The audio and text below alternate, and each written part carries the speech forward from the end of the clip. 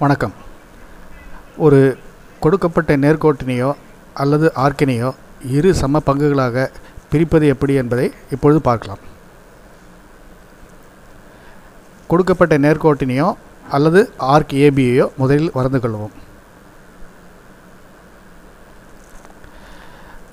ஒரு காம்பஸை எடுத்து அந்த காம்பஸை இந்த ஏபி லெங்க்த்தில் பாதிற்கு மேல் இருக்குமாறு செட் செய்து கொண்டு ஏவை மையமாக வைத்து இரண்டு ஆர்க்குகளை வரைவோம்.